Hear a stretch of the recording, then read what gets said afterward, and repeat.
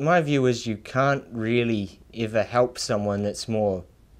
they can hear advice that works for them. Like you can't directly help anyone, but you now I just figure it's best for people to know about experiences from those who've lived them